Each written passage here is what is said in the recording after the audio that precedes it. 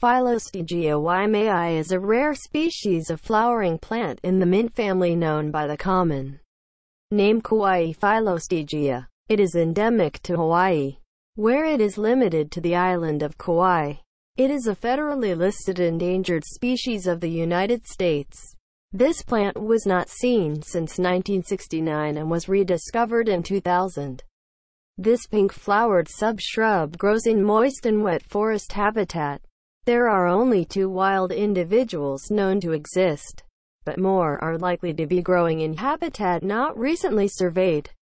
Additionally, there are several individuals that have been planted. The species is threatened by feral pigs, feral goats, rats, introduced species of plants, and overcollection. Thanks for watching. Please like and subscribe.